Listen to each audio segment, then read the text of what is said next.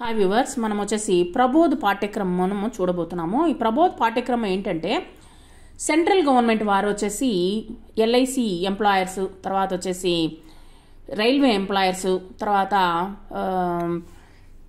ఈ యొక్క పార్లమెంట్లో పనిచేసేటువంటి వాళ్ళు సెక్రటరీస్ వీళ్ళందరూ ఉంటారు కదా.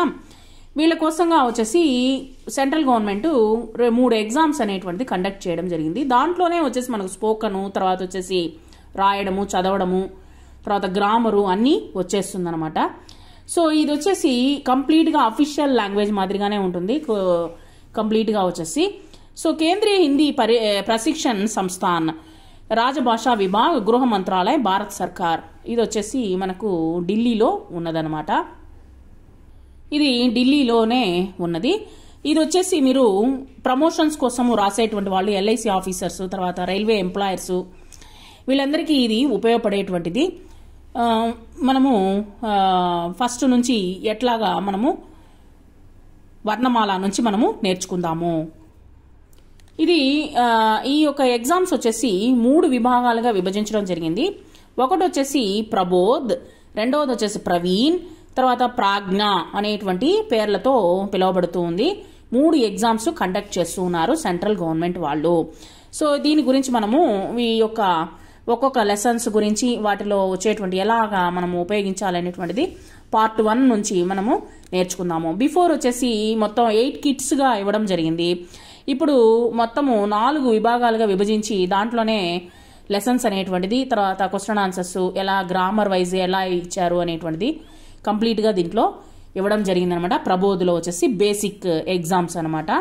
సెంట్రల్ గవర్నమెంట్ వాళ్ళది. ప్రతి ఒక్కరు ప్రమోషన్స్ కోసం రాసేటువంటి ఎల్ఐసి ఆఫీసర్స్ కానీ రైల్వే డిపార్ట్మెంట్ వాళ్ళు కానీ తర్వాత వచ్చేసి సెంట్రల్ గవర్నమెంట్లో వచ్చేసి సెక్రటరీస్లో ఉండి పనిచేసేటువంటి వాళ్ళు కొంచెం హిందీ తెలియనటువంటి వాళ్ళు లేకపోతే వాళ్ళు కొత్తగా వెళ్ళినటువంటి వాళ్ళకి ఇది చాలా ఉపయోగంగా ఉంటుంది. సో పార్ట్ వన్ వచ్చేసి పార్ట్ వన్లో వచ్చేసి మనము చూస్తూ ఉన్నాము. పార్ట్ వన్ అన్నమాట ఇది. దీంట్లో పార్ట్ వన్ వచ్చేసి మనకు ఆల గురించి ఇవ్వడం జరిగింది. హిందీ వర్ణమాలమే కుల్ ఫిఫ్టీ టూ వర్ణ మొత్తం యాభై రెండు వర్ణాలు ఉన్నాయనమంటే లెటర్స్ వచ్చేసి మొత్తం యాభై రెండు ఉన్నాయి టోటల్. టోటల్ అనమాట జిస్మేసి నిమ్నలిఖిత్ థర్టీన్ స్వర హై వర్ణ స్వర హై తేరహ అంటే పదమూడు వచ్చేసి మనకు అచ్చులుగా ఇవ్వడం జరిగింది. ఔర్ థర్టీ నైన్ వ్యంజన్ హై. వ్యంజన్ అంటే కాన్సోనెంట్స్ హల్లులు. సో ఇది వచ్చేసి ఓవెల్స్ గాను తర్వాత వచ్చేసి కాన్సోనెంట్స్ గాను మనకు ఇవ్వడం జరిగింది. టోటల్ వచ్చేసి fifty two words sorry fifty two letters తర్వాత వచ్చేసి అచ్చులు వచ్చేసి దట్ మీన్స్ వచ్చేసి ఓవల్స్ వచ్చేసి థర్టీను తర్వాత హల్లులు అంటే కాన్సోనెంట్స్ వచ్చేసి మొత్తం థర్టీ నైన్గా విభజించడం జరిగింది. సో ఇది వచ్చేసి మీరు హైలైట్ చేసుకోండి. తర్వాత స్వర్ అనేటువంటిది ఏ విధంగా? హచ్చులు అనేటువంటిది దట్ మీన్స్ వచ్చేసి ఓవెల్స్ వచ్చేసి ఎలా పలకాలనేది చూద్దాము. ఆ ఆ ఇ ఈ ఉ ఊ రి ఏ ఐ ఓ ఔ. తర్వాత వచ్చేసి ఇక్కడ అనుస్వార్ దీన్ని వచ్చేసి అనుస్వార్ అని అంటారు. అమ్ అనేటువంటి దాన్ని అనుస్వార్ అని అంటారు. ఔర్ విసర్గ్ విసర్గ్ అంటే రెండు చుక్కలు ఇచ్చున్నారు కదా పక్కన రెండు చుక్కలు ఇచ్చారు దిస్ ఈజ్ కాల్డ్ అస్ విసర్గ్ విసర్గ అని అంటారు. నెక్స్ట్ అమ్ అహా. నెక్స్ట్ వ్యంజన్ వ్యంజన్ అంటే కాన్సోనెంట్స్ కాన్సోనెంట్స్లో రెండు లెటర్స్ అనేటువంటిది లేదనమాట.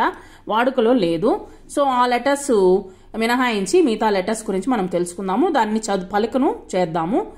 క ఖ గ గ జ్ఞ. చ చ జ జ జ్ఞ. ట ట డ ఢ న త త ద ధ న. ప ప బ భ మ. య రా లా వా స ష స హ. తర్వాత వచ్చేసి వీటిని హల్లులోని అంటారు. దట్ మీన్స్ కాన్సోనెంట్స్ అంటారు. ఇన్ హిందీ వ్యంజన్. తర్వాత సంయుక్త వ్యంజన్. సంయుక్త వ్యంజన్ అంటే ఏంటంటే కాన్సోనెంట్స్ రెండు లెటర్స్ మిక్స్ అయి ఉంటాయన్నమాట. ఇది వచ్చేసి క్ష వాటి గురించి వివరంగా వచ్చేసి నెక్స్ట్ నెక్స్ట్ లెసన్స్లో మీకు ఇవ్వడం జరుగుతుంది. ఇది మా ఫస్ట్ బేసిక్ అనేటువంటిది స్టార్టింగ్ చేసేటప్పుడే మనము కొంచెం మిక్సింగ్ లెటర్స్ ఉన్నాయి కాన్సోనెంట్స్ రెండు మిక్స్ అయితే ఎలాగ నేర్చుకోవడము అనేటువంటిది కన్ఫ్యూజన్ వస్తుంది అన్నటువంటి ఉద్దేశంతో మీరు దాని గురించి తెలుసుకుంటే చాలన్నమాట. ఇక్కడ వచ్చేసి క్ష త్ర జ్ఞ స్ర. అంటే మిక్సింగ్ లెటర్స్ అనేటువంటిది తెలుసుకుంటే చాలు. దాని గురించి మనము ఇంకా వివరంగా తెలుసుకునేదానికి లెసన్స్ మనము తర్వాత చూద్దాము. ఇన్ పోయే కొద్దీ మనకు ఇవ్వడం జరుగుతుంది. నెక్స్ట్ అతిరిక్త వ్యంజన్. డా ఢా ఆఘాత ధ్వనియ ఆగత్ ధ్వనియ. అంటే కొంచెం సౌండ్ బాగా పలిగేటువంటి పదాలు వచ్చేసి ఖ తర్వాత వచ్చేసి జా తర్వాత వచ్చేసి ఫా. ఈ యొక్క మూడు అక్షరాలు వచ్చేసి అగాత్ ధ్వనియా అనేటువంటిది చెప్పడం జరుగుతుంది. Thank you very much